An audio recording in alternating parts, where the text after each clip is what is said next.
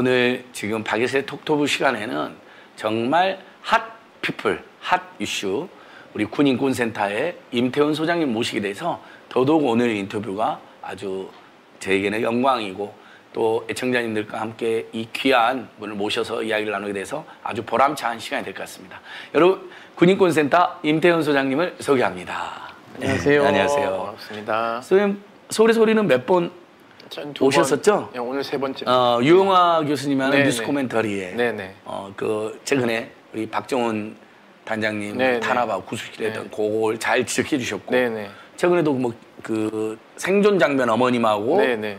임성근을 고발하는 네네. 기자회견도 생방송으로 네. 오마이 TV랑 막 생중계하더라고요. 네네, 그것도. 봤었고 아무튼 뭐 많이들 아시지만 그래도 또 군인권센터나 임태훈 소장을 잘 모르는 분도 있을 수 있으니까 네. 좀 이렇게 편안하게 네. 오늘은 완전히 임태현 소장님의 시간이니까 하고 싶은. 이야기 다 하십시오. 예, 저는 군인권센터에서 일을 하고 있고요. 저희는 지금 2009년도에 창립을 해서 군대 내 인권 문제를 다루고 있습니다. 윤일병 사망 사건도 저희가 폭로를 했고요.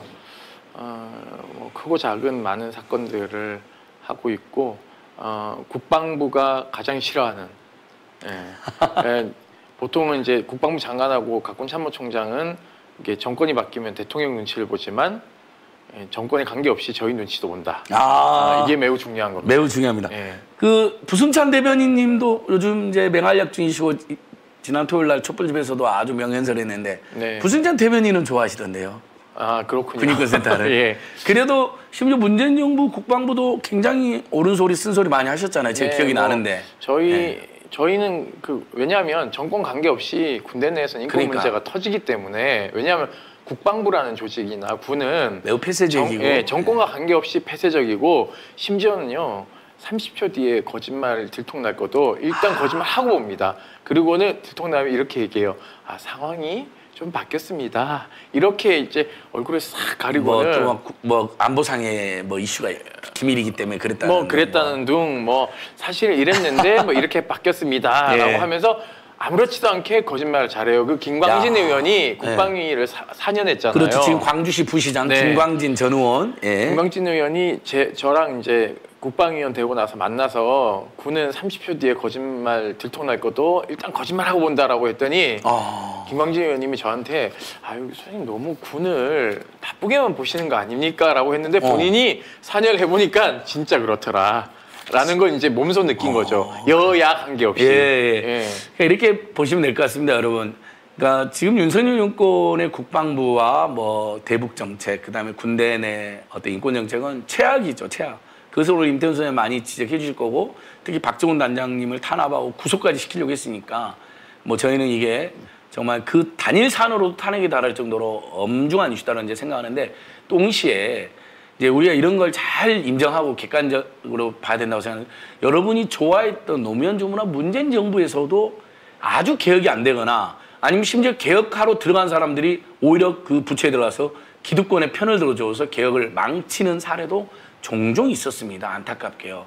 그리고 그런 불철저한 계획 때문에 윤석열 정권한테 정권도 빼앗긴 거죠. 그게 경제 이슈든 민생 이슈든 외교 국방이든 정말 지금 이렇게 돌이켜보면 제대로 안 된 게 너무나 많았구나. 그러니까 국민들이 실망해서 정권을 바꿔버렸구나. 이걸 인정하지 않을 수가 없는 거죠. 그래서 임태훈 소장님께서 그것을 이제 정권과 상관없이 진보 정부든 보수 정부든 군인권센터는 할 말은 해야 되는 거니까요. 왜냐면요, 영화, 그런- 영화 DP 아니 그런 걸 이제 음. 안 하면 어떻게 되냐면 어, 우리 이해람 중사 사망 사건 예, 당시를 기억하실 테죠. 그때도 문재인 정부 국방부가 대처를 제대로 못했어요. 저는 비판했어요. 기억이 나요. 그렇기도 예. 하지만 사실은 특검이 이제 군대 내 문제로 최초로 예. 특검이 그렇죠. 이루어졌거든요.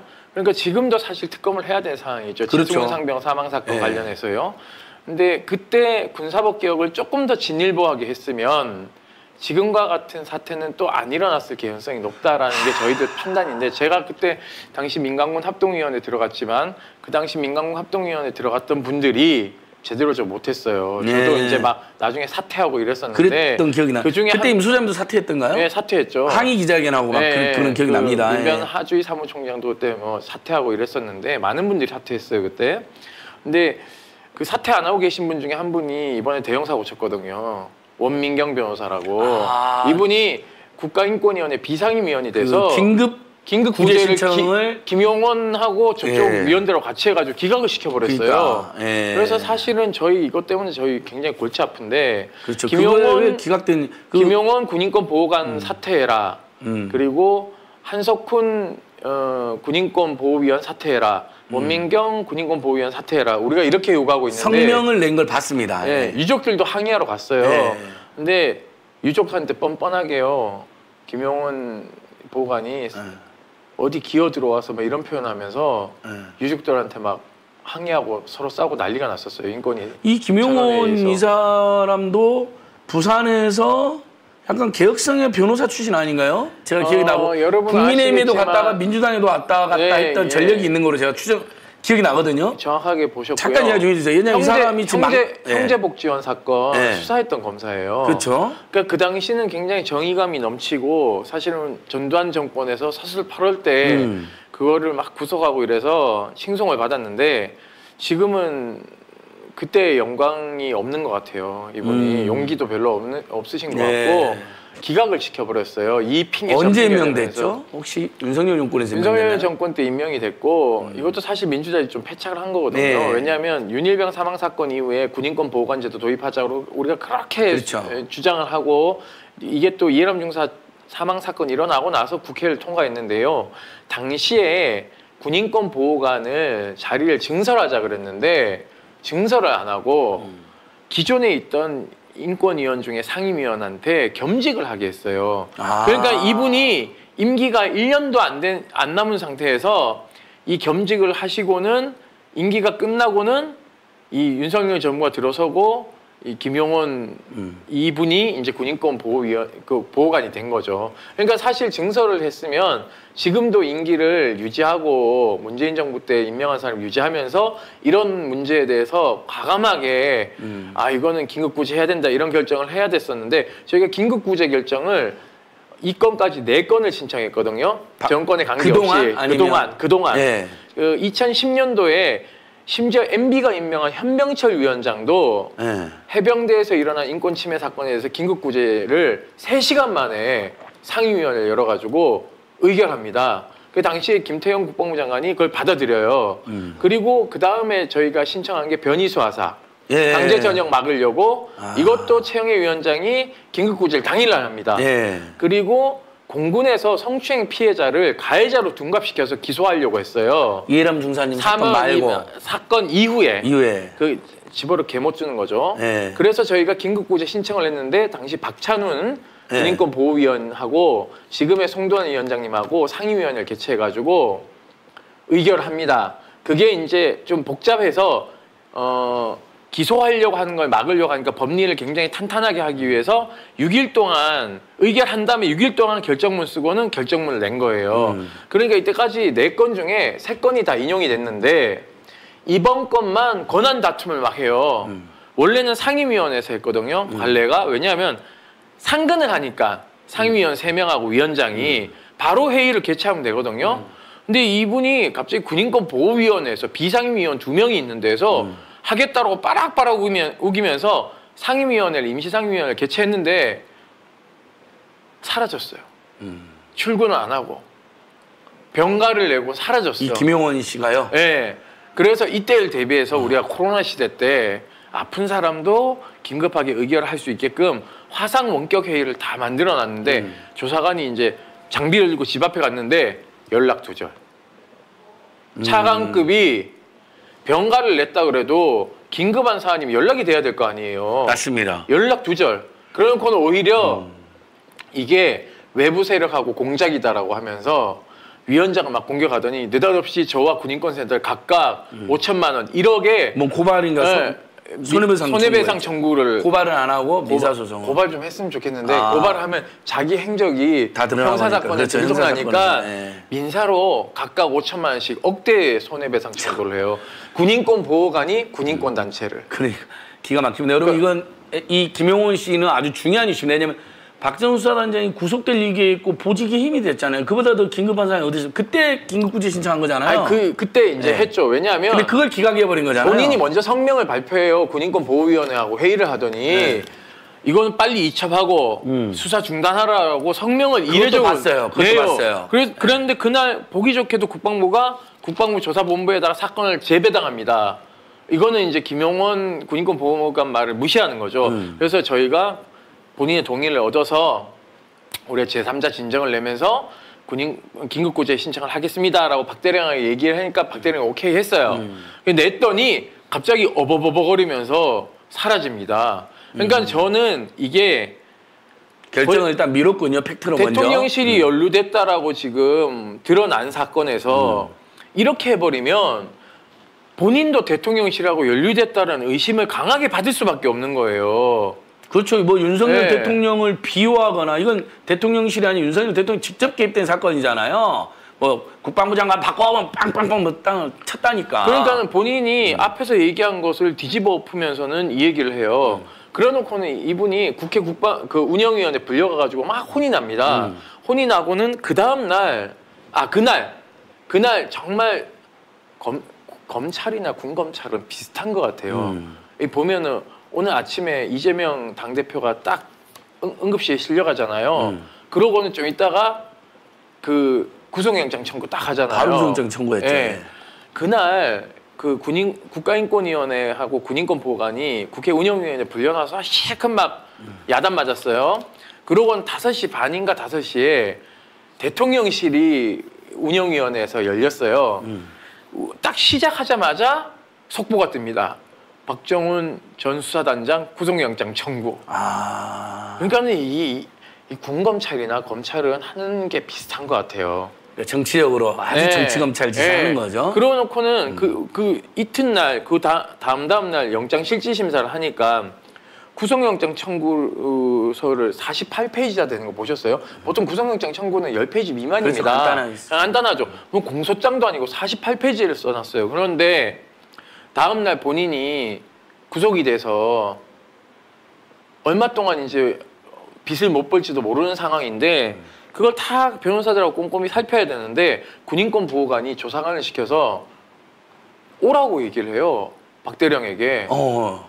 그러니까 요- 김용훈 씨 말하는 거죠. 계속 예, 지금. 예, 오라고 그러니까 이분은. 지금 신분이 인권이 상임위원인가요? 상임위원이죠. 차관급, 비상임인가요? 차, 차관급 상임위원이죠. 아, 상 상임위원인데 아, 그쵸. 군인권 보호관을 겸직하는 거예요. 그러니까 그럼 처음에 이 사람이 인권위원 된 건 문재인 정부 때 누가 추천한 거예요? 아니요. 윤석열 대통령 때. 아, 이 사람은 인권위 상임위원 겸 군인권 보호관으로 예. 윤석열이 예, 임명한 근데 거죠. 지난 총선 때 분명 민주당 후보로 나오려고 그랬거든요. 그건 뭐 잘 모르겠어요. 아니요, 제가 그때 아, 공천 하셨어요. 심사위원이기 때문에 제가 알아요. 제가 아. 직접 면, 면접까지 했다. 그래서 제가 아. 기억하고 있는데 그렇군요. 그러면 그 사이에 윤석열 쪽으로 말을 갈았던 거군요. 그런가 봐요. 그러니까 이제 그런 추정, 요건 나중에, 왜냐면 그 윤석열 정권에서 지금 부여가고 있고 부여가면서 적극 나쁜 일 하는 사람도 우리가 기록해놔야 되잖아요.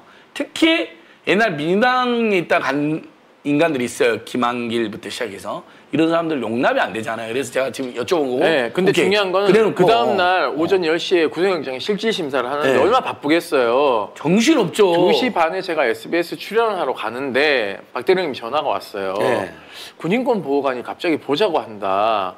그러면 부대 밖을 막 운전하고 나오고 있더라고요. 네. 그래서 일단 일단 스탑 정지하시고 기다리시라. 음. 내가 확인을 해보겠다. 라고 해서 조사관 과장한테 전화했더니 전화도 안 받아. 총괄 과장은 전화도 안 받아. 그래서 조사관이 누군지 전화해서 이제 물어봤죠. 왜 부르는 거냐라고 했더니 검찰단장을 불렀대요. 국방부 검찰단장을 네. 박대령하고 수사 인권 조정 위원, 회의를 한다는 거예요. 그래서 그게 무슨 법에 근거한 거냐 그랬더니 법 근거 조항을 대는데 이 국가인권위법 20조를 막 들먹이는데 이거는 법 개정 사항이에요. 음. 법을 어떤 관련된 인권법을 개정할 때 정부 부처를 불러서 협의할 수 있다라고 해놨어요. 네.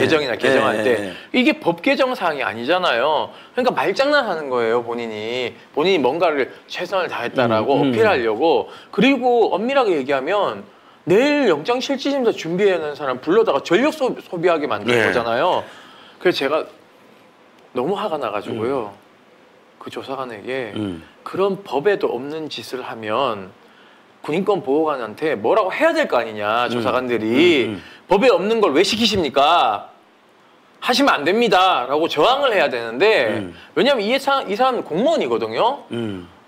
자기 직을 걸고 싸울 수가 있어요. 왜냐하면 불법을 시키면 저항할 수가 네, 있거든요. 우리 박종원 대령도 그런 거 아닙니까? 예. 근데 법대로 하자고. 그걸 그대로 박 대령한테 얘기를 하면서 제가 너무 화가 나가지고 그 조사관한테 육두문자 빼고는 엄청나게 화를 냈습니다. 음. 이런 짓을 하지 마라.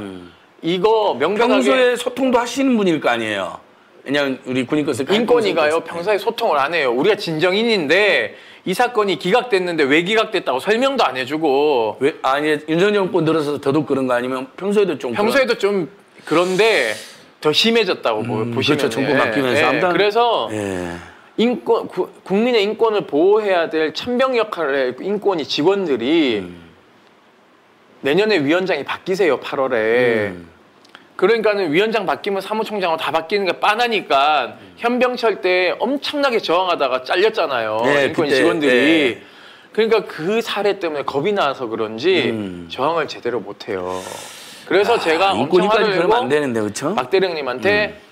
이만 이만 하니까 빨리 부대로 돌아가셔서 영장 실질심사 대비만 대비하시라 음. 그러는데 박 대령님이 저한테 인권이 마저 저한테 이러면 어떡하냐 아 절망성. 너무한 거 아니냐 긴급 신청 기각하고 예 구전자 정부 앞두고 정말 정신없는 분 불러다가 네. 시간 낭비하게 만들고. 그렇죠 그때 지금 인권위가 불러다가 일면 재판부에 뭐 영장 기각되나 의견서라도 냈습니까? 아니요 그것도 안 내고. 안 내고. 아니 불렀으면 들어보니까 아 우리가 그러면 아니 그런 거 안 불러도 돼 그냥 우리가 그러니까 긴급구제 신청 아니 우리가. 긴급구제 신청서를 예. 엄청나게 꼼꼼하게 잘 썼어요. 네. 그냥 사실은 복붙해서 결정만 하면 되는 정도로 저희가 아주 상세하게 잘 썼습니다. 우리 변호사분들이 네. 오케이, 오케이. 계시거든요. 예. 다 검토하고 이만하면 아주 훌륭하다라고 예. 할 정도로 냈어요.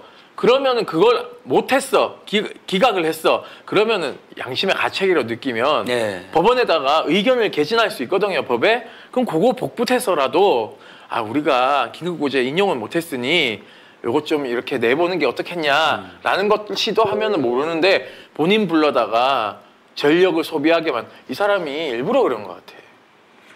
완전히 윤석열 정권 앞잡에 대해서 이게 대통령과 대통령이 직접 개입한 사건이니까 네. 어, 오히려 그 박정훈 단장을 탄압하는데 오히려 일조를 했다고 보겠네요. 저는 그렇게 생각하고 예, 예. 아니 그런 평가를 당연할 수밖에 없고 너무 열받는 사건이었죠. 오죽하면 인권단체들이 군 인권센터도 있고 그다음에 또 다 인권단체도 김용원에 대한 또 항의성 따로 냈던 것 같던데요. 뭐 규탄하는 네, 성명을. 냈어요. 예. 자, 이, 이게 이 과정이 매우 중요하기 때문에 그래서 결국 긴급 구제 신청을 기각한 이유는 뭐로 나옵니까? 그게 없어요. 기각 결정서를 안 쓴, 기각은 결정문을 안 쓴대요. 그래요? 그래서 검찰마저도 불기소문 왜- 유서를 쓰는데요. 왜, 왜 기각당했는지를 우리는 아직도 몰라요. 야, 정말 긴급- 아무도 안 알려줘. 어. 그러니까 인권이 그 엉망이라는 예, 거예요. 엉망이죠, 엉망. 예. 자, 그럼 이 시점에서 임 소장님, 그 군인권 그 윤일병 사건, 네. 이제 영화 DP2에도 네, 약간 그 모티브가 제공되잖아요. 네. 어, 그 그다음에 뭐 변이 수 하사 DP2는 여러 사건의 있죠. DP2는 여러 가지 이제 예. 옴니버스 있는데 주로 되는 게 이제 사실 윤일병 사망 예. 사건과 이, 이, 아, 윤일병 사망 사건보다 임병장 총기 난사 난사. 사건. 그러니까 이분이 옛날 예. GP에서 22사단 저 예. 엄청난 괴롭힘 당하다가 저 내무반에 총기 난사 네, 사건이죠. 예, 예. 그리고 탈영까지 했던가요 당시에? 탈영을 무장 탈영을 했죠. 그러니까 그 유명한 예. 사- 그 세상 깜짝 놀랐던 사건이죠. 그쵸. 그다음에 윤일봉이 괴롭힘 당하고 윤일봉도 그때 GP였나요 어디? 윤일병은 GP는 아니고 이제 그 28사단 음. 예. 전방 부대이긴 한데 GP는 아니고 포병 부대 근처에 있는 이제 부대. 이분은 괴롭힘을 당하고 구탈당해서 사망해. 집단 구타를 그렇죠. 사- 이- 입대한 동안 한 네. 계속 꾸준히 당해 오다가 이제 죽었는데 냉동만두 먹다가 그렇죠. 죽었다라고 예, 이제 거짓말하고. 거짓말하고 언론에 예, 예, 예. 계속 이제 그 과시 그 살인이 아니라 어, 상해 치사로 재판을 이어가다가 7월 28일 날인가 저희가 재보궐 선거 다음 날 음. 긴급 기자회견을 해서 음. 폭로한 거죠. 사인이 집단 구타에 의한 것이다. 임병장님 사건은 언제 했어요 이때가? 어, 임병장 사건이 그 전에 있었죠. 그쵸, 이게 고, 또- 고 어, 아마 고해 초에 있었을 겁니다. 2014년 2014년. 예. 박근혜 때죠 다 이게 임병장. 아, 요게 이제 그 타임라인이 어떻게 되냐면 4월 7일 날 2014년 윤일병 사망 사건이 나고 그 몇 개월 뒤에 임병장 사건이 나요. 근데 윤일병 사건은 냉동만두 먹다 죽었다라고 그냥 끝나버렸고, 예, 그래서 타임라인이 조금 다릅니다. 예. 그러니까 2014년도 사건이네요, 다. 네, 박근혜 정부 때. 예, 예. 그리고 군인권센터는 언제 생긴 거죠? 2009년에 2009년도. 예. 야, 이거 이제 일종의 역사적 기록이니까 우리가 아, 정말 좋은 일 많이 오셨고, 그 다음에 어, 변희수 사, 하사님 사건이 어, 2000 아, 되게 적극적으로 예. 대응하셨었잖아요. 변희수 사망 변희수 하사 사망 사건도 최근에 있었던 일이죠. 근데 이제 괴롭힘을 계속 당했으니까 군대에서. 예. 변희수 하사는 사실은 병, 군 국군 수도병원에서 예. 어그 수술을 해도 좋다라는 예. 어, 진단이 나오고 왜냐하면 이게 네. 성전환 수술이라니까 내가 하고 싶어서 하는 게 아니라 정신과에서 오랜 관찰한 다음에 음. 이 사람이 반대의 성으로 가서 다시 돌아올 수 있을 가능성이 없다라고 판단했을 때 정신과 의사의 진단서가 있어야지 아, 병원에서도? 성형외과에서 어, 수술을 해주지 실무적으로는 사람들이 잘 모르는데 저도 네. 오늘 처음 듣는 이야기거든요. 네. 그뭐 제 제자 중에도 그런 분이 있어서 제가 네. 유심히 그분 응원했었는데 네, 네, 네. 근데 그 절차가 있다는 거 몰랐어요. 그분이 이제 네. 오마이뉴스에 그 수술 진행 과정에 글도 쓰신 분인데 네. 아 그 과정이 있군요. 예, 그래서 네. 그 정신과에 오랫동안 진료를 받아서 네. 정신과에서 오다를 내려야지만이 음. 성형외과에서 수술을 할 수 있어요. 네. 우리나라도 지금 고대 안암병원에 네. 젠더 클리닉이 생겼어요. 아. 그러니까 성전환자들을 네. 위한 클리닉이 예. 병원 차원에서 만들어졌고 예. 지금 서울대 병원도 지금 만들려고 하고 있고요. 필요한 거잖아요. 왜냐하면 이제 이게 극소수다더라도 또는 소수다더라도 존재하는 이게 뭐냐면 다 태국 가서 수술을 해요. 그렇잖아요. 예전에 그 보면 유명한 하리 선생님도 그랬다고 하지 않았었나요? 예, 태국에 사는데 한국에서 동아대학 병원에서 하다가 사실은 너무 이제 그 제도권 병원에서 안 받쳐주니까 음. 태국으로 수술을 많이 하러 가고 있고 어, 지금 한국에도 수요가 높기 때문에 음. 고대 안암병원이 적극적으로 만든 거거든요. 음. 그리고 아마 강동 성심병원인가에도 하나 있을 겁니다. 네, 강동 저기 예. 구분다 저기 강동역에 강동역에 있는데. 네. 그래서 예. 어 이게 이제 국내에서도 이제 상황이 이제 많이 수요가 있으니까 이렇게 하는 거고 변희수 하사가 2021년에 사망을 했어요. 예. 그러니까 사실은 저는 정말 이것도 문재인 정부에서 이런 일이 발생했다는 게 도- 정말 납득이 안 되더라고요. 근데 이게 이제 이런 겁니다. 군이 그만큼 보수적이고 예. 폐쇄적이다. 왜냐하면 미군은 이미 어, 군에서 받아주고 있거든요.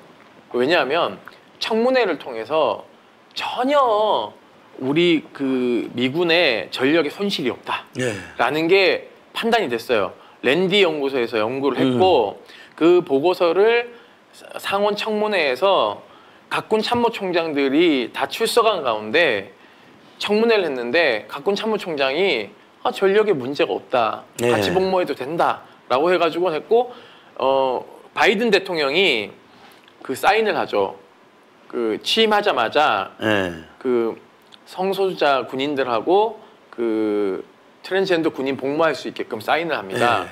그러니까 우리나라보다는 굉장히 많이 바뀐 거죠. 그러니까 우리 군도 지금 사실 병력이 자꾸 줄어들고 있는데 그러니까 한 사람 한 사람 군인이 얼마나 소중하고 귀한 차, 존재인데. 차 떼고 포 떼고 하면은 군대에 남아날 사람이 없어요 네. 지금 그리고 여군 숫자도요 너무 적어요. 예. 우리나라가 지금 8%좀 넘거든요. 그러니까는 제가 문재인 정부 때 계속 얘기한 게 뭐냐면 한 30%로 늘려야 된다라고 하는데 문재인 정부에서도 많이 늘렸는 게 이거고요. 음. 그리고 어, 야전 부대에 여군 사단장이 음. 투스타가 나와야 된다라고 해서 그걸 굉장히 강조했는데 투스타가 나오긴 나왔어요. 그 전투병과에서 음. 이때까지 뭐 항공 이런 데서만 나왔는데 그 정정숙 장군이라고 음. 투스타를 달았는데 지금 지금 장군으로 지금 장, 장군 육군 소장으로 예, 있나요? 육군 소장으로 있는데 네. 이분이 어, 후방부대 음. 사단장으로라도 갈지 알았는데 결국은 벽에 부딪혀가지고 육군 부사관학교장으로 갔어요. 음. 아 사단장을 그러니까 어쨌든 사단장은 안 시켜주는군요 여전히. 아예 안 시켜주는 거죠. 그러니까 음. 후방부대라도 좀 시켜주면 될 텐데 그렇죠. 전방은 안, 안, 안 되더라도 사실 전방 해도 돼요. 그럼요. 요즘 네. 다 시스템으로 하고 여군이 더 잘해. 좋습니다. 네. 아무튼 오늘 주제는 아니지만 어쨌든 임병장 사건님, 임병장 사건, 윤일병 사건, 변희도 하사 사건을 거치면서 우리 군인권센터 맹하려고 해왔고 더디지만 이제 군인권 제도만 만들고 저희가 이런 것 이, 저희, 계기로 이런, 이런 것도 했어요. 핸드폰 음. 어, 그렇죠, 그렇죠. 허용하고 허용할- 이런 것도 저희가 한 십 몇 년 전부터 계속 주장해서 관철시킨. 거고 그리고 그것도 했어요. 사람들이 잘 모르시는데 기억하실 거예요. 학자금 대출을 군대에 있는 동안에, 예. M, MB가 와장창 해놓고는 군 복무 기간에도 이자를 다 받고 있는 맞습니다, 거야. 맞습니다. 그래서 저희가 그때 문제 제기를 해서 이게 이자를 안 받는 걸로 예. 어, 정리가 됐지 저희도? 같이 문제 제기했습니다. 예, 같이 했죠 예. 그때. 그래서 근데- 저희가 이런 안 보이는 아. 틈새까지 저희가 다 아유. 하고 있거든요. 군인권센터는 여러분 정말 우리가 박수를 천 번 만 번 보내도 저희가요. 떼인 돈 받아줍니다도 해봤어요. 아 군대가 있는 동안에 아니 군에서 돈. 군에서 어떤 일이 있었냐면 아 그 선임병들이 후임병들 아니 막 장교가 그 공군은 해외에 그 비행 훈련을 가요. 네. 그렇기 때문에 알래스카 막 이런 데 가거든요, 미군에. 그럼 가면은 개인 통장으로 훈련비를 꽂아줍니다. 음. 그 재정장교가 그 역할을 하는데 이 재정장교가 그 돈을 딱 떼먹- 떼, 떼, 떼, 횡령했군요. 횡령했고. 예, 슈킹. 그, 슈킹했고, 예. 그 다음에, 어, 이 사람이 명문대학교 막 사회체육학과 이래서 되게 허칠하게 생겼어요. 음. 그러니까는 돈을 명문대 나오고 이랬으니까 돈 좀 빌려달라 그러면 병사 간부할 것 없이 소액씩 빌려준 거예요. 100만 원도 빌려주고 네. 200만 원 빌려주고 그런데 안 갚는 거예요. 그래서 저희한테 진짜.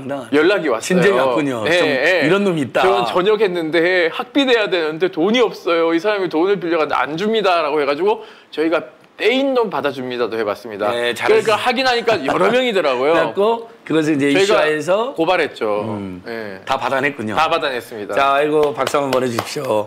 자, 이제 여기를 드렸던 게 그러면서 군대가 이 사건들을 거치면서 그 세 가지 사건은 반드시 민간 수사기관에 즉시 처분하는 거로 바뀐 거죠. 그러니까 사실은 그좀 사망 사고 좀더 뜯어냈어야 되는데 저희 네. 주장은 이거였어요. 음. 어, 평시 군사법원 없애고 네. 다 민간에 하자 이러는데 너무 이제 그 겁을 많이 내니까 기- 문재인 정부하고 네. 이제 그 민주당에서 이러면은 군이 또 이제 저항을 하니까 네. 그래서 안 되면 비군사 범죄 음. 에 만이라도 다 뜯어내자라고 음. 했더니 그렇게 뜯어내면 남는 범죄가요 8%도 안 되는 거예요. 음. 그러니까 사실상 다 뜯겨 나가는 거니까 네. 군이 이제 저항을 하기 시작한 거죠. 네. 안 된다 안 된다 해서 겨우 이제 합의 본 게 사망 사건하고 사망 사건. 성범죄 사건. 군대 내 사, 네. 사망 사건, 성범죄 사건, 그다음에 군대 들어오기 전에 예, 있었던, 민간인 절도 예, 사건, 사건, 예. 각각 뭐 사례들이 있었죠. 그래서 제가 더 뜯어내려고 했죠. 예. 교통사범도 뜯어내자. 아 그렇죠. 음주운전하고 이런 거 다 상관없는 거니까 예. 폭행하고 이런 것도 다 뜯어내자라고 했는데 군이 엄청나게 저항을 했습니다. 그리고 거기에 좀 부안해동하신 분들이 좀 계시고요. 그러니까 지금 문재인 정부 때 아무튼간 핵심 개혁과제를 이행 못하거나 엉터리를 한 사람들은 지금 진짜 반성하고 오히려 길거리에 싸워야 되는데 그런 사람들이 오히려 지금 이재명 대표 안 도와주고 오히려 사사건건 윤석열 정권 투쟁에 발목 잡고 있어요. 황당하게. 그 당시 국민권익위원회 박은정 위원장이 예. 민강문 합동위원회 위원장 했는데 저희를 그렇게 방해했어요. 아, 예, 국방부 하고 이렇게 짝짝 아, 국방부 편을 들어줬군요. 예. 국민권익위원회가. 예. 국민권익위원회 예. 위원장 그만두시고 와가지고는 그걸 하시는데 음. 저를 그렇게 미워하시더라고요. 다, 다 역사의 그런 냉정한 평가를 받을 겁니다. 그러면서 이제 이세 가지 사건 즉시 처방이 됐고, 네. 그 다음에 이제 이른바 군대 내 문제를 객관적으로 따질 수 있는 운부주만이 몇 개 생겼죠. 그러니까 어, 업무지만이 네. 아니고 그게 군인권 보호가 그러니까 군인권 보호가 예. 어, 근데 이게 헷갈리는 게 인권위도 있고 권익위도 있고 내에도 있나요? 그러니까 음. 그거 한번 정리 좀 해주세요. 국가인권위원회의 네. 상임위원 중에 한 명이 군인권 보호관을 겸직하고 요게 이제- 군인권 보호국이 생겼어요. 그렇죠. 이게 이제 법에 생긴 거고. 네, 그래서 네. 30명의 조사관이 음.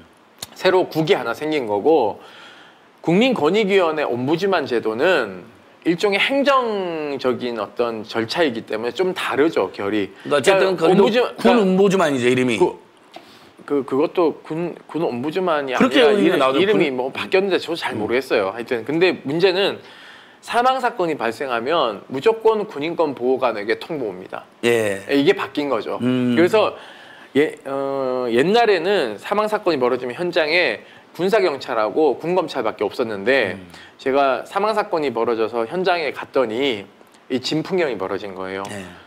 어, 두 집단만 있는 게 아니라 음.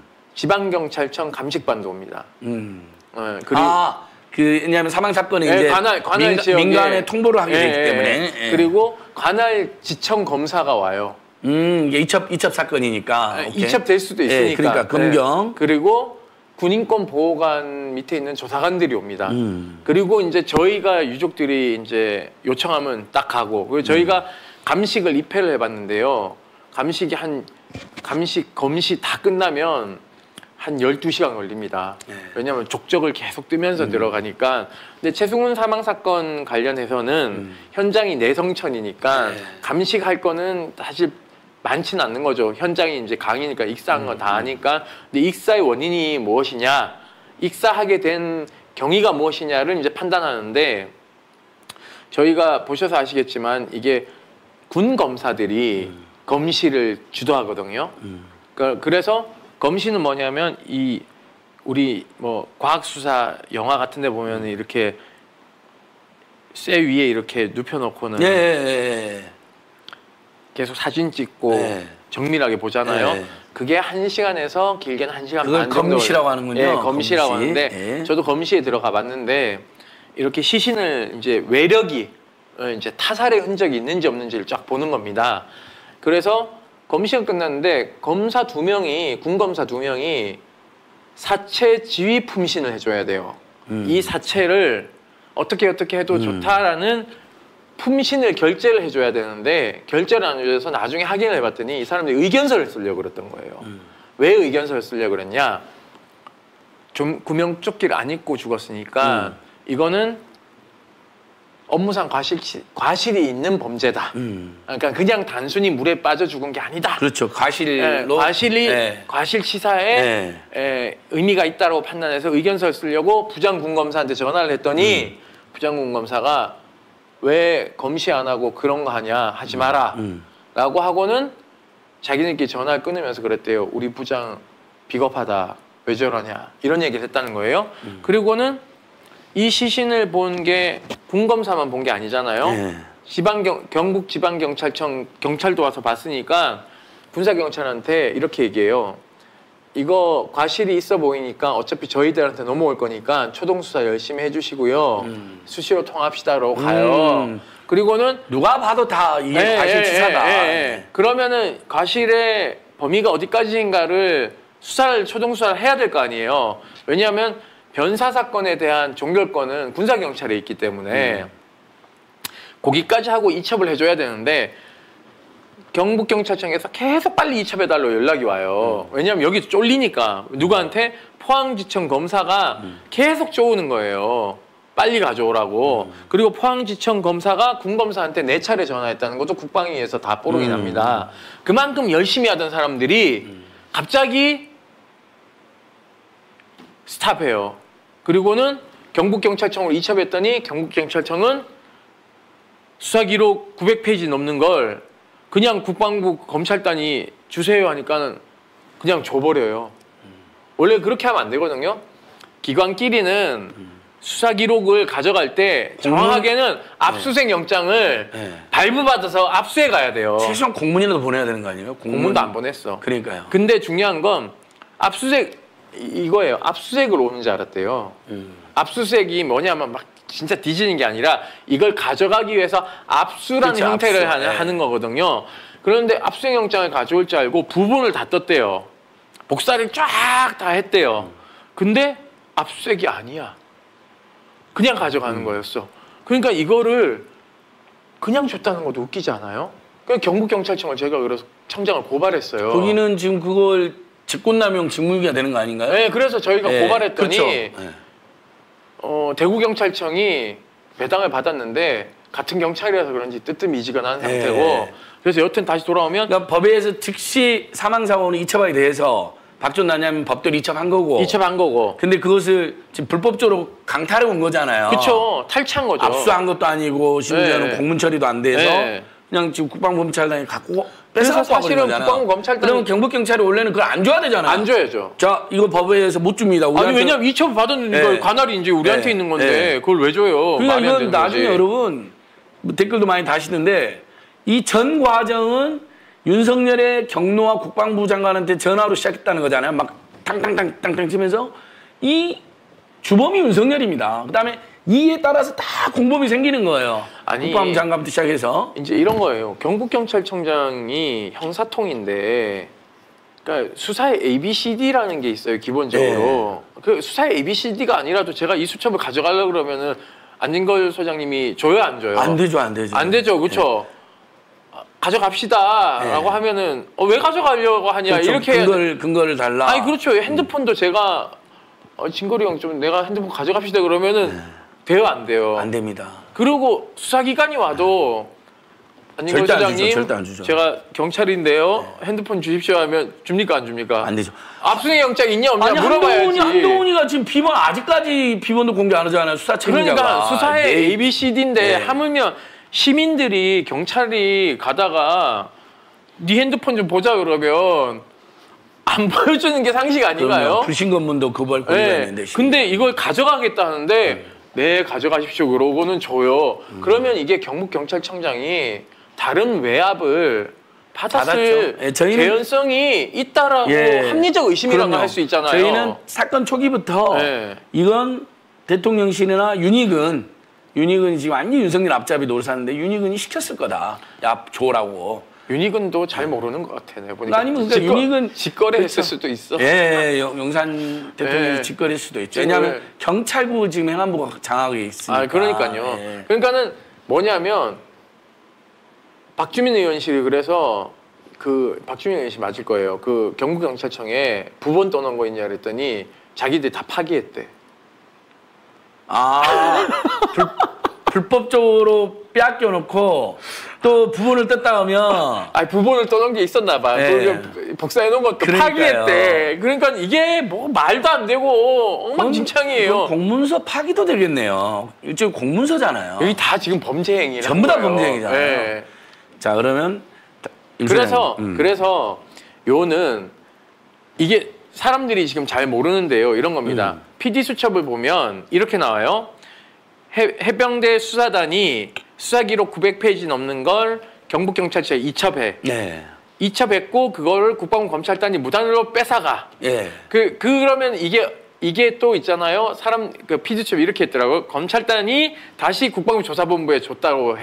네, 그 국방부 조사본부가 위아래 빼고 두 명만 임성근 예, 빼고 예. 경북 경찰청을 줬다 이렇게 되는데 예. 이게 아니에요. 검찰단이 국방부 검찰단이 뺏어간 그 이첩 서- 수사 기, 기록은 검찰단이 가지고 있어요. 음. 그러면 국방부 조사본부 뭘 가지고 조사를 했을게요? 어떻게 했, 했대요? 이게 야바이 놀이야. 예. 야, 야바이 놀이 알죠? 이거 네. 막 콩이 어디 있는지 네. 막 이렇게 네. 하고 그럼 사람들이 눈이 막 헷갈리잖아요. 어디 갔는지. 그거하고 비슷한 거예요. 국방부 조사본부가 뭐 하는 데냐면 군사경찰의 최고 상위 기관이에요. 음. 네. 거기는 도대체 그럼 뭘 가지고 위아래 빼고 이첩했냐 하면 해병대 수사단에는 이첩한 자료 말고 변사 사건 기록이 있잖아요. 예. 변사 사건 기록을 다시 가지고 온 겁니다. 음. 그래서 이걸 가지고는 재가공해 가지고 던져준 거예요. 음. 그러니까 이 재가공한 수사 기록과 검찰단이 애초에 가져간 기록은 다르게 있는 겁니다. 예. 근데 이게 돌고 돌아가지고 다시 간 건지 알, 알잖, 알잖 아요. 음. 그러니까 완전히 얘네들은 범죄 사기 집단이에요. 예. 국민의 눈을 속이는 거죠. 완전 심각한 범죄죠. 예, 예. 그럼 이제 임소님 저기 우리가 이제 서서히 시간이 마지막으로 하고 있는데 이 사건 이제 우리 국민들께서 개호도 다 잘하니까 누가 이렇게 이 중대한 범죄를 저진 겁니까? 일종의 국기문란, 어 국방 논란인 이게요. 국방농단인데 그러니까 어, 장관이 결재를 하지 않았습니까? 그렇죠. 어, 심지어 잘했다고 칭찬까지 했다면서요 그 자리에 있던 사람 인간들이 네. 장관 장관을 대면 결재를 하는데 해병대 사령관이 처음에 사인을 해요. 그리고 이게 결제 절차가 있습니다. 해병대 그러니까 해병대는 해군의 지휘를 좀 받기 때문에 네. 해군 참모총장한테 그렇죠. 계룡대까지 가서 대면 보고를 네. 받아 사인을 받아요. 그 사인도 공개됐죠. 그다음에 국방부 장관 오후에 이제 대면 보고를 해서 사인을 받는데 사인을 다 했어요. 사인을 다 했다가 언론 발표를 앞둔 두 시간 전에 갑자기 취소가 되면서 브리핑이 브리핑이 취소되면서 예.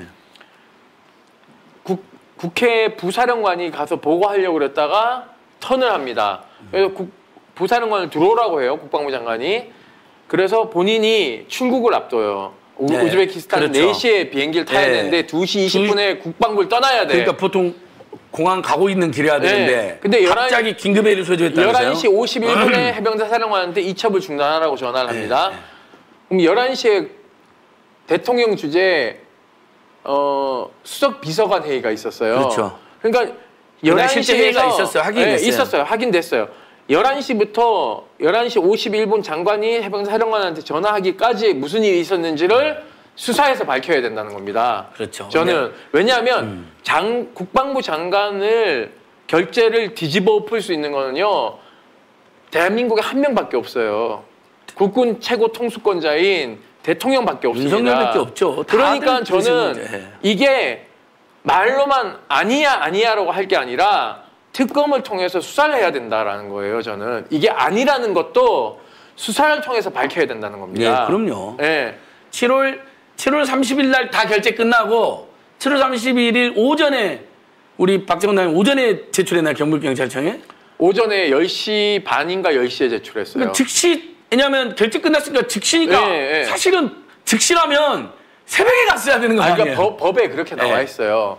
즉시 지체 없이. 지체 없이 네. 이첩하도록 되어 있습니다. 네, 그러니까요. 그러니까 법대로 한 거예요. 아니 그래서 그 지적도 있더라고요. 즉시첩인데 왜 국방장 결제까지 받냐? 그러니까 이게 뭐냐면 그것도 브리핑을 바- 브리핑을 해야 되니까 네. 브리핑은 수사가 아니잖아요. 네. 그러니까 국민들이 이거 관심 사안이니까 브리핑은 수사 내용을 압축해 가지고 공개하는 거니까 이거는 일종의 수사 행위가 아니라 수사에 따른 행정 절차인 거예요. 네. 그러니까 장관에게 결재를 받아야 되는 거예요. 사실 이것도 좀 아니 그러니까 그 지적을 하더라고요. 네. 오케이 이해했어 이제 브리핑까지 이제 군을 대비해서 대표하니까 장관 결재가 필요는 아는데 법률 취지대로 보면 아니 일명 해병대 수사단장이 자기를 지휘하는 해병대 사령관한테 보고한 다음에 바로 이첩하면 되는 거 아니냐 이렇게 제가 하는 분도 있더라고요. 보고 안 해도 돼요. 그래서 박주민 의원이 오, 법률에 어디에 당신이 결재라고 써져 있냐 뭐 네. 이렇게 나왔잖아요. 네. 보고 어디에 보고를 해라고 써져 있냐. 그러니까 이게요. 네. 저는 미완이라는 게 이걸 다 뜯어냈으면 음. 보고할 필요도 없어. 네. 그냥 경찰이 하면 돼. 그렇죠 이제 그- 예. 그래서 이제 김종대 전 의원이나 부승찬 대변인이나 정말 그 군사법원 아예 군 경- 검찰이나 법원 다 없애자 그렇게 가야 된다고 이야기하시더라고요. 근데 문제는 이게요. 자 보십시오. PD 수첩 보면 음. PD 수첩이 잘 만들었는데 그 작년에 흰남노 때문에 물난리가 났었잖아요. 네, 흰남노, 그래서 예. 막 서울에 막 침수되고 막 반지하방들 난리 네, 났지 않습니까? 돌아가시고. 돌아가시고 윤석열 가서 그러니까 양아치성 윤석열 구경하고 대- 윤석열 대통령이 반지하 구경하고 이게 이제 여론에 너무 문매를 맞아서 밀리는 상황에서 포항에서 임성근이 장갑차를 막 물에 집어넣어가지고 네. 좀 히트를 쳤어요. 그래요. 그래서 그 대통령이 직접 포항을 내려갑니다. 임성근이 막 충성을 다하겠습니다. 뭐 이렇게 하는 게 나와요. 음, 그러니까 임성근이 얼마나 이뻤겠습니까. 음. 그러니까 도대체 이러면 누가 사단장 하냐라고 그렇죠. 경로를 했다는 얘기가 있어요. 아니 지금 그게 기록이 나오잖아요. 그러니까 그게 맞는지도 스트레이트에 나와요. 그리고 또 하나는요. 그러니까 어쨌든 직접 본 사람이 아니라 박정훈 수사단장님 측에서 작성한 문서에 자세히 나와 있잖아요. 그리고 그 또 하나는요. 정보가. 결재를 맞고 난 다음에 수사단장하고 다 빠지고 장관하고 해병대 사령관만 둘이 독대를 해요. 네. 왜냐하면 보직을 보직을 어떻게 할 것인지를 놓고 회의를 해야 돼요. 장군에 대한 보직 해임은 어 조금 특별합니다. 그러니까 왜냐 이제 임성근 단장을 이첩하면 어쨌든 책임자 이첩이 되는 과시사로 군대에서 인사를 해야 되는 거잖아요. 장관 음. 징계 형사처벌위원회 보직 심사위원회를 열어야 돼요. 그러니까 인사 조치를 할 수 있잖아요. 인사 조치를 해야. 되는데 장군에 대한 인사 조치는 장관도 어, 해야 되지만 밑에 장군을 인사하는 부서가 따로 있어요. 음. 거기를 통해서 해군에다가 어, 보내면 해군에서 어, 이 보직해임 심사위원 보직 심사위원회를 열어요. 그래서 보직해임 결정을 하는데 하루 안 나왔어요. 음. 임성근이 딱 하루를 안 나왔거든요. 요게 보직해임을 전제로 해서 출근을 안 한 걸로 저희는 판단하고 있고. 당연히 보직행위 담할지 알고. 네. 근데 요때 임성근 사단장이 본인이 보직해임 단순 보직해임만 되는 게 아니라 업무상 과실치사로 입건될 거라는 것을 정보를 듣고 이때부터 판이 바뀌기 시작합니다. 음, 갑자기 로비를 했을 가능성이 제기되는 거죠. 오, 외압이 들어갔을 가능성이 그렇죠. 높, 은 아니, 거죠. 뭐, 나, 내가 이제 윤석열 충성을 다하는 사람인데, 지금 군대에 이상한 놈들이 나를 치- 엮어 넣으려고 한다라고, 예를 들면 이제 추정인데, 김태효나 이번에 그 경질된 안보실 2차장한테 연락했을 수 있잖아요. 그러니까 참 그 로비했을 수 있잖아요. 그 제가 이제 그 근무연이 같이 있다. 이종섭, 네, 김태호. 김태호랑 네, 같이 임성근. 있다라고 했더니 뭐 막 변명을 이상하게 해요. 보통 있잖아요. 아니면 다 고발하시거든요. 이때까지 저는 고발이 안 당했어요. 음. 네. 고발 좀 해줬으면 근무연은 좋겠어요. 사실이잖아요. 사실이 네. 음. 사실만을 얘기하니까 그러니까 대통령실이 보통 같으면 저희가 이렇게 나오면 고발하겠다 명예훼손이다 가마두지 않겠다 네. 이래야 되는데 저걸 가마둬요. 그래서 이상 이상하다. 그리고는 임종득하고 다 빼돌렸습니다. 국방비서관하고 네. 지금 다 정리했어요. 그리고 그게 임종득 그러니까 임종득 차장은 증거 인멸 범인 은닉이라고 보고 임종득 있습니다. 차장은 제 고향인 경북 영주에 네. 출마 준비하고 있대요. 아, 그러니까 이거네. 일단 증거인멸 범인 은닉은 해- 하되 대신에 야 니들이 불명예스럽지 않게 출마하고 그리고 이종섭 장관도 제가 탄핵 소추해야 된다라는 예, 얘기를 했잖아요. 예, 왜 그러냐면 지난번 행안부 장관은 진짜 쫓아내기 위한 탄핵 소추였다면 이번에는 뭐냐면 이종섭 장관을 못 도망가게 하기 위한 네. 발목을 묶는 탄핵이거든요. 그리고 탄핵 왜냐하면 탄핵 심사- 음. 탄핵 소추안이 발의돼서 의결이 되면 6개월 동안 발이 묶여요. 대충 네. 현재 결정이 나야 되니까 그러면 신임 장관이 신원식이 오는 걸 막을 수 있고 그렇죠. 장관 임명을 못하게 네, 되겠죠. 못 하게 돼 있고 또 하나는 도망가는 사람을 잡아놓는 효과도 있거든요. 근데 민주당이 갑자기 안 하세요. 왜 그런 거예요? 저 열받아가지고. 그러니까 제가 그런 얘기를 했습니다. 이재명 대표님이 단식을 풀 계기도 됐을 텐데. 해외에 대통령이 나가 있을 때잖아요, 그때. 네. 그래서 분명히 월요일 날 비행기에서 오면서 결제를 할 수도 있다, 개각에 대해서. 또는 음. 월요일 날 어, 오전에 8시에 보고하고 10시에 개각 단행할 수 있다라고. 그러니까 먼저 빨리 탄핵을 추진해야 된다라고 얘기를 해요.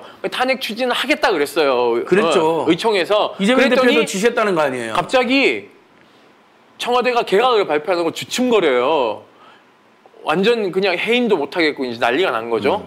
근데 다음 그 다음 날 화요일 날 사의 표명이라는 꼼수를 부립니다. 그러니까는 이게 사람들이 사의 표명 그러면 어 사표 수리 되는 거야 이렇게 생각하는데요. 사의 표명이 꼼수인 거죠. 왜냐하면 사의 표명으로 탄핵안을 멈추게 하고 국민들로 하여금 약간 이제 혼선을 주게 하는 건데 저희가 그래서 바로 성명을 발표했죠. 왜냐하면 사표 수리를 못 합니다. 공수처 고발당했잖아요. 고- 국가공무원법에 보면 수사 중이면. 수사 네. 중이면 그거를 이제 사의를 표명하더라도 대통령실이 감사원, 경찰청, 공수처, 검찰청에다가 이 사람이 징계 내사 받고 있는 게 있는지 수사 받고 있는 게 있는지를 서류로 확인하고 10일 이내에 문서로 회신을 줘야 돼요. 그 행위를 안 하면 불법입니다. 네. 그래서 2022년인가에 보면 김, 김창룡 경찰청장이 사의 표명했는데 대통령이 해외 순방 떠나면서 이렇게 얘기를 했어요. 사표 수리는 법에 의해서 해야 되겠지 당장 할 수 없다라고 얘기한 게 그 법입니다. 네. 그래서 저희가 지금 사의를 수용하면 불- 불법이니까 안 된다라고 주장해요. 그래서 또 주춤거립니다. 그런 사이에 국방 그 민주당 안에 공포가 엄습해요. 뭐냐면 탄핵 소추안을 발의하면 안보 공백이 생겨서 군영권 공백이 생기기 때문에 북한이 미사일 쏘거나 국지 도발전을 감행하면 총선에 우리 다 진다. 이런 공포감을 막 누가 유포를 해요. 아니 그 장관이 사실은 이런 사례가 아니라 역사적으로 보면 국내에 다 보면 갑자기 돌아가신 경우도 있고 그런 거 있잖아요. 건강상의 문제나 아니면 사고나 아니면 또 심지어는 구속되는 경우도 있고 수사받다가 아 그리고 그러면 다 국방차관 합참의장 다 그래서 다 줄줄 다 있잖아요 시스템이 그러니까 군령권은 합참의장의 권한이에요. 그러니까 합참의장 장관은 있잖아. 군정권을 갖고 인사권을 갖고 있고 군령권 즉 병력 동원하고 네. 전쟁하는 거는 합참의장이 하는 거예요. 네. 그래서 조현천이 계엄할 때 가장 큰 걸림돌이 합참의장이었어요. 네. 왜냐하면 전두환이 구태타 할 때는 육군 참모총장이 계엄사령관이었는데 계엄을 선포하면 계엄사령관 합참의장인 거야. 예. 여기 이순진 당시 육사 출신이 아니기 때문에 자기들이 컨트롤 못하는 사람이었어요. 예. 그래서 이걸 하- 육군 참모총장으로 바꾸는 막 안을 막 지네들끼리 논의하고 이랬거든요. 그러니까 이러한 이 가짜 공포 이런 것들이 민주당 내에 엄습하니까 그냥 또 이제 흐지부지. 아니 그래서 제가 봤어요 예를 든 게 이거잖아요 사의 표명이 사실상 경질이에요 경질이 아니라고 발표했거든 이 사람들아 그렇죠. 윤석열이 대통령실이 심지어 이렇게 얘기했어요. 사과마대 안 하는 놈들인데 최수근 상병 때문에 교체하는 거 아니냐고 심지어는 기자들 물으니까 아니래. 그 사안도 상관없다. 네. 평소에 경무에 시달려서 그랬다. 거짓말. 그 다음에 무슨 안보 공백이야. 그럼 차관은 왜 있어? 그리고 합참의장 왜 있고? 상군 삼차 참모장 다 이미 갖춰놨잖아. 한면 합사까지 그쵸. 다 있잖아요. 네. 말이 안 돼. 북한 러시아가 국방장이 정상회도 하는 게 원인이래. 아니 그리고 아니 북한 러시아가 정상회담 하는 게 무슨 아니 그리고 우리는 정밀 타격할 수 있는 권한도 없어요. 왜냐하면 작전권이 미군에게 있기 때문에. 아니, 그러니까요. 그러니까 미군이 다 네. 이렇게 다 방어해줘요 지금. 이건- 그런데 이런 이상한 얘기를 이제 하면서 두 가지- 부담이 됐던 예. 것 같아요. 예, 그래서 그러니까 저- 왜뭔 도대체 아무것도 안 한 당신 때문에 온 국민이 중풍 걸리게 생겼잖아. 뭔 놈의 역풍이야. 이 이게 저는 주, 임소님 중요하다고 생각하냐면 일단은 이종섭 탄핵 방금 말씀하신 것처럼 이종섭 증거인멸 범죄인이 못하고 그러니까 지금 이종섭 네. 장관이 저렇게 이제 교체되잖아요. 이게 이제 문제가 뭐냐면 신원식 의원이 이제 청문회를 하게 되면 여러분도 아시겠지만 국회의원이 청문회를 낙마한 적이 없습니다. 맞습니다. 의원 불패 예. 신화가 있기 때문에 상당히 강한 적을 만날 거고 또 하나는 제가 장담컨대 신원식 어, 의원이 장관이 되면 일사단장 있잖아 임성근 사령관으로 승진시킬 수도 있어요. 그리고 오히려 이놈들은 지금 그러잖아요. 지금 저희가 11만 명이 서명해가지고 수사단장 복직시키라고 수원지법에 냈잖아요. 지금 집행정지 신청. 만약에 집행정지 신청 인용돼도 이 사람이 되면 아마 자를 겁니다. 무슨 수를 써서라도. 그러니까요. 그래서 우리 이제 소리소리 미스터 바람제비님이 안 소장님 진행자로 나오셨는데 패널 말씀 좀 들어요. 알겠습니다. 그동안에 임세, 임세 소장님이 90% 이야기했어요. 요것만 열받아서 잠깐 이야기했는데. 네. 아니, 그러니까 방금 말씀하신 게 그 세 가지가 다 너무 저는 지금 민주당 열받아 죽겠는 게 그냥 자 이종섭과 윤석열과 안보시 차장과 국방비서관 이 라인의 공범 주범들을 붙잡아놓는 효과 신혼식을 막는 효과 거기에다가 이걸로 이재명 대표님의 단식을 지금 우리가 이렇게 탈핵발했고 이제 의원들이 그, 그 기세로 윤석열 대통령실 앞에 가서 농성도 하, 야, 제발 병원을 가십시오 할 수가 있잖아요. 근데 대표가 지시까지 했는데 그게 부결됐거든요. 대표가 단식 어떻게 풉니까? 그래서 저는 완전히 이게 너무 열받는 거예요. 하여튼 이제 정치적 상황은 제가 잘 모르겠지만 이런 것들이 하나의 이제 저는 야당의 존재감이거든요. 왜냐하면 반대로 국회의원이 국방부 장관이 된 거는 어, 첫 사례가 있어요. 천용택 네, 국방부 장관이 김대중 정부에서 전국구 의원 하면서 네, 했는데 에, 이분이 해임 건의안이 국회에 발의가 됐었어요. 그 당시 두 가지 사건인데 하나는 군 의문사 사건이 많았었고 음. 또 하나는 미사일 오발 사건이 있었어요. 그래서 음. 지금의 여당인 국민의힘이 당시에 장관 해임 건의안을 국회 본회의에 상정을 해서 그 당시 DJP 연합이라서 이제 자유민주 연합이 표결에 참여 안 하면서 자동 부결됐거든요. 네. 그러니까 저는 이런 거예요. 저쪽은 하거든요. 근데 왜 민주당은 못 할까? 그러니까 저는 이렇게 생각해요. 예. 칼을 차고만 다녔지 칼을 뽑아서 휘둘러 본 적이 없다. 이게 의전용 칼, 칼인 거죠. 그래서 정작 뽑으려고 하면 녹이 쓸어서 안 뽑히는 그런 상황이 벌어지는 거예요. 그러니까 저쪽은 자기가 야당이든 여당이든 자기 포지션에 맞춰서 자기 지지 기반의 이해에 따라서 쫙 밀고 나가는데 아 저는 민주당이 참 안타까워요. 지금도 그 본인들이 지지 기반- 여당인지 안 돼요? 그러니까는 예. 태세 전환이 안 된다고 생각하는 예. 것도 있고 어, 물론 이런 거죠. 저는 어, 부담은 될 수도 있다고 생각해요. 뭐 총선이 임박해서 혹시라도 뭐 북풍이라도 불면은 그 감당을 해야 된다라고 이제 느끼는 것도 있지만 탄핵 소추안을 발의를 하는 카드는 여전히 유효하다고 얘기를 해야 되죠. 왜냐하면 인사청문회가 남아 있으니까. 지금이라도 할수 있잖아요. 탄핵 소추안을 100명 도장 받아야 되거든요. 100명 도장을 받아놓고 킵하고 있다가 원내대표가 이 인사청문회를 보고 니네 정말 꼼수 부리면 우리는 언제라도 낼 수 있어라고 얘기를 해야 되는데 안 하기로 이렇게 표현하는 건 저는 정치적 패착이라고 생각하고 있어요. 예, 맞습니다. 네, 안 낸다 하더라도 카드로 가지고는 있어야 되는 거죠.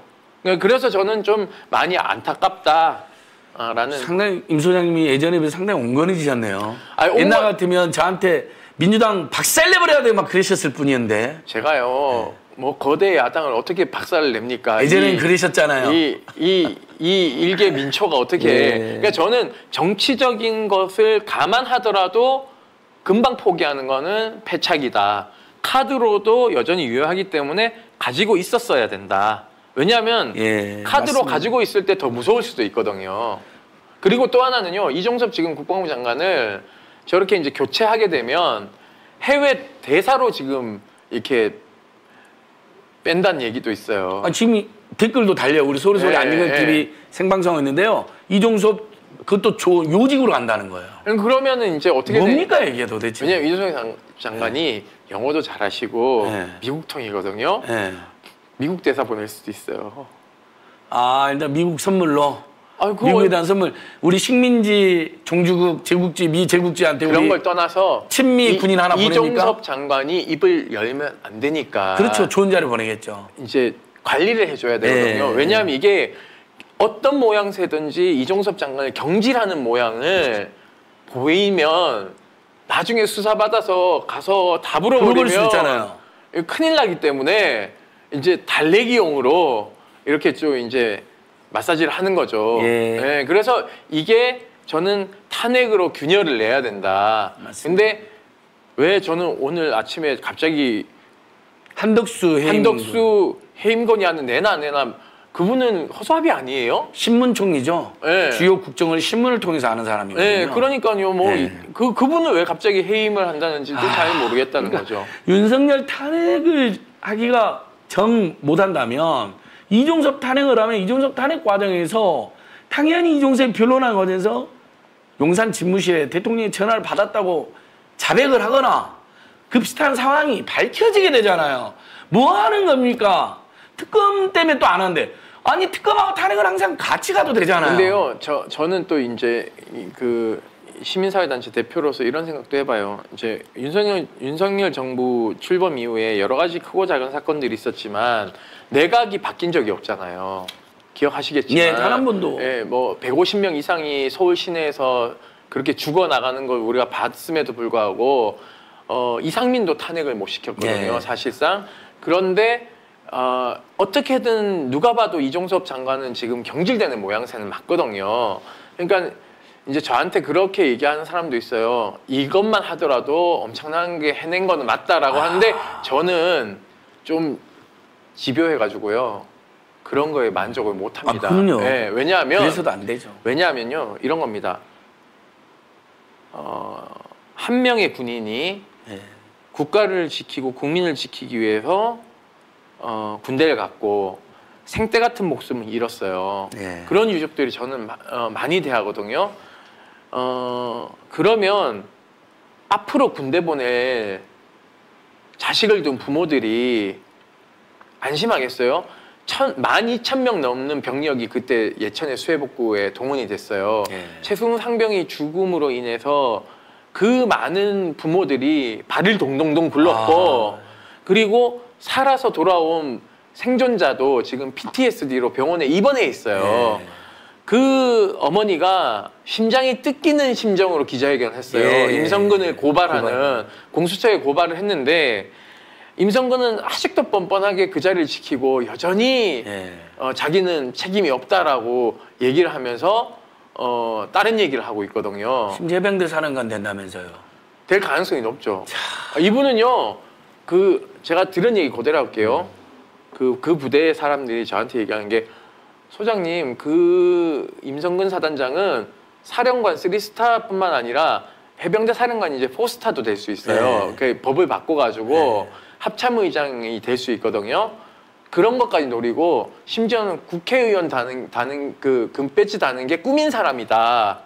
라는 얘기를 신혼식 다음에 국방장관도 노리겠네요. 이런 분위기면. 그 모르죠 어떻게 그러니까요. 될지. 예. 그래서 저는 어 여태까지 수많은 일들이 있었고 윤일병 사망 사건 때도 사단장, 군단장 다 보직 해임됐고요. 예. 제가 보직 해임 해라 얘기 안 해. 보직 해임 했어요. 국민 여론이 너무 안 좋으니까 심지어 권오성 그 당시 육군 참모총장도요 경질됐어요. 예. 그 제가 뭐 경질해야 된다 이런 얘기 안 했거든요. 그 김관진이 이제 자기한테 이제 이게 안보실장 네, 당시 지- 지 가 장관일 때 터진 사건이니까 이 자기한테 화살이 올까봐 이제 미리 자르긴 했는데 지금 박근혜 정부 때도 사실은 투스타, 쓰리스타, 포스타를 다 경질했는데 왜 이 투스타를 경질을 못하면서 이 사단이 벌어지는지는 잘 이해가 안 됩니다. 맞습니다. 그러니까 결국은 사람들은 합리적 의심을 하는 거죠. 이게 권력형 비리이다. 예, 예. 어, 권력이 사단장을 비호하고 있다. 최승근 상병의 죽음에 대해서는 나몰라를 하고 있다. 아, 이런 거죠. 그러면 앞으로 경찰도요. 지침과 가이드라인이 정해지는 겁니다. 수사에 이미 압수수색 영장이 공개된 거 보시면 아시겠지만 대대장 압수수색하면서 여단장에 대한 책임이 없는 식으로 압수수색 영장을 썼어요. 네. 그게 결국은 이제 국방부 조사본부가 이첩 새롭게 가공해서 만든 지침대로 이제 움직이는 겁니다. 네. 그러니까 빨리 저는 공수처가 움직여야 된다. 예. 그러니까 공수처가 이런 사건은 딱 왜- 개입해서 왜냐하면 바로잡기 너무 좋은 사건이잖아요. 특검을 패스트 태워도 4개월 걸리거든요. 예. 그렇기 때문에 공수처가 열심히 이제 증거 확보를 해놓고 예. 압수수색을 열심히 한 다음에 특검이 또 이어받아서 이제 이어달리기를 해야 되는 거죠.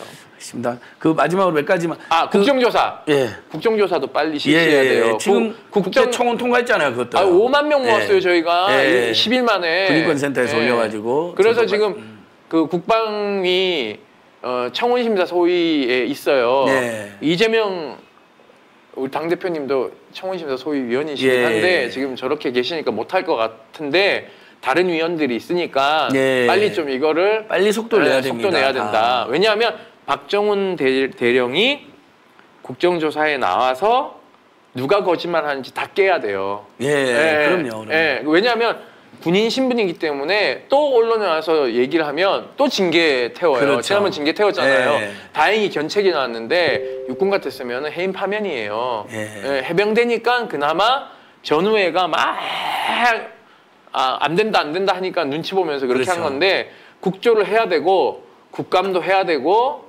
예결위도 해야 되고 할, 할 것들이 많다. 네, 네. 이종섭을 도망가게 하면 안 된다. 예, 아유, 여전히 유효하다. 우리 민주당 의원이랑 민주당 정치인들이 임태훈 소장님 오늘 방송 다 보셔야 되고요. 최소한 안- 이런 안 주장을 안 보실 것 같은데. 어, 이런 주장을 기담아 드려야 됩니다. 정말 피눈물 나는 심정으로 그 유족의 심정으로 싸워 주세요. 그 마지막으로 박종훈 단장님이 7월 30일 이첩한 게 오전 중이었나요?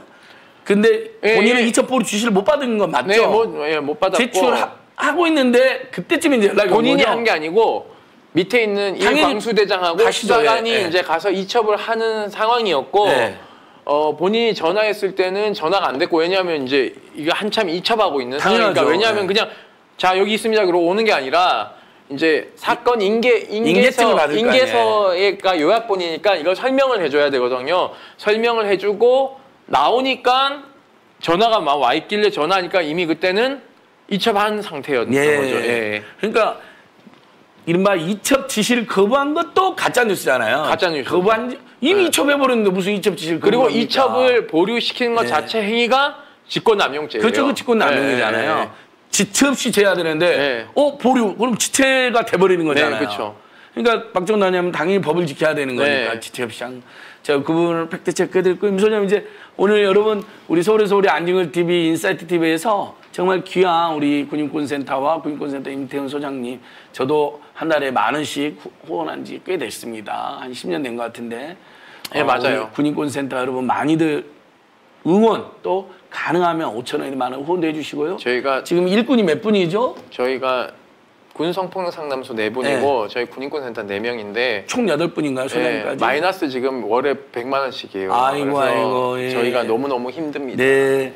지금 사람 한 명도 뽑아야 되는데 돈이 없어가지고 못 받아요. 군인권 센터가 생긴 이후로 군대가 완전히 많이 바뀌고 있어요, 여러분. 그건 군대 가 있는 사병들이나 사병의 부모님들한테 물어보시면요, 군인권 센터 모르는 분이 없어요, 이제는요. 무슨 일 생기면 무조건 군인권 센터에 연락해라는 지침이 있을 정도로 이런 훌륭한 비정부 기구는 키워야 됩니다. 그리고 임태수 선생님과 저희들이 손잡고 임 선생님 지금 직무에 충실하니까 정치적으로 탄핵이나 퇴진까지는 안 하시거나 못 하실 수 있거든요. 하지만 이분들이 이런 성과를 가지고 그걸로 저희가 대한민국 파괴자 윤석열을 따라 국민이 운동하면 되는 겁니다. 그러니까 이렇게 일종의 역할 분담이기도 하거든요. 군인권센터 여러분 진짜 많이 후원 응원해 주시고 혹시 이제 마지막으로 우리 시민들과 애청자들께 그이 싸움은 어, 사실 어, 끝난 게 아니다. 왜냐하면 생존자들도 남아 있는 상태고 유족들이 지금 어떤 입장인지 공식적으로 나오지 않고 있기 때문에 그리고 어, 박정훈 대령이 이제 복직을 해야 되는 게 있어요. 수사단장직에 지금 출근을 하는데 책상이 딴 데가 있거든요.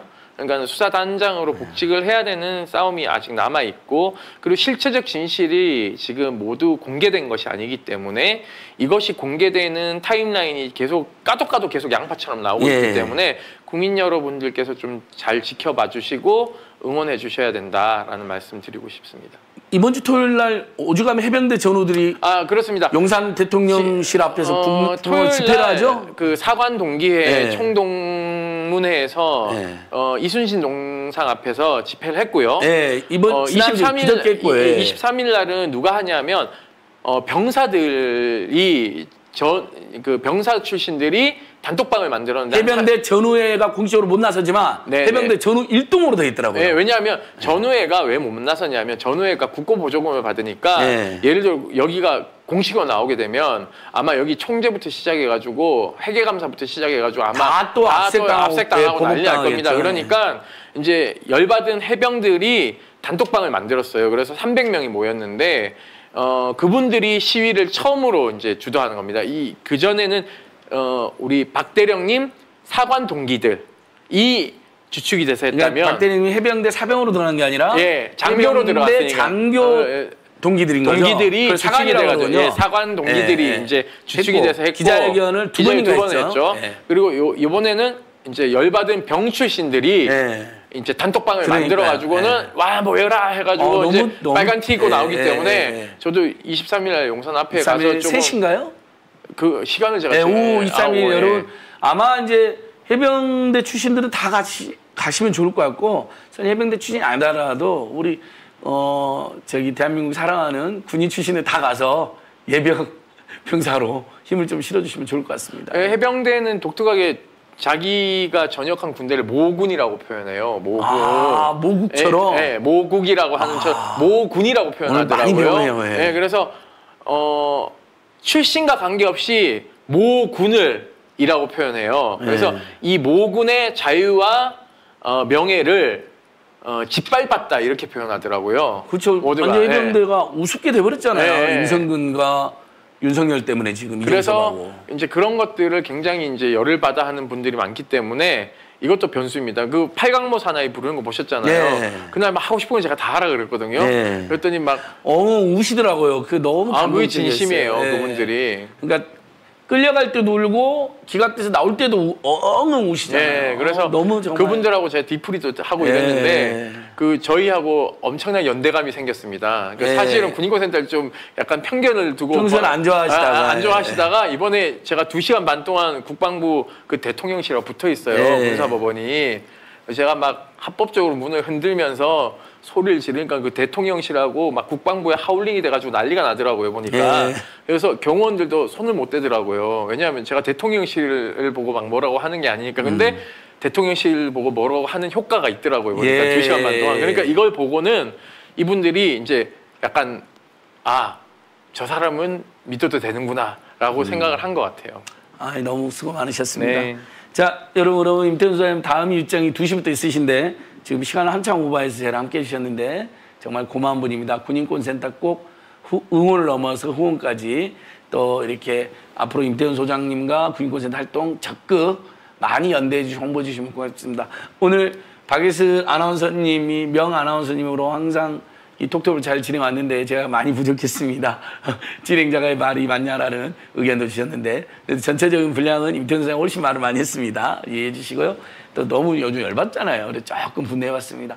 예, 아침에 오마이 TV 갔다가 앉은 걸 어, 오마이 TV 앉은 걸 TV 갔다가 지금 우리 이제 톡톡을 마치고 4시에 원래 제가 소리소리에 퇴진 속으로 양희삼 백운정 아닌 퇴진 속으로 4시에 다시 나타나겠습니다. 임태훈 선생님께 큰 박수 한번 보내주십시오, 여러분. 감사합니다. 와. 또 불러주세요. 예, 또 불러드리겠습니다.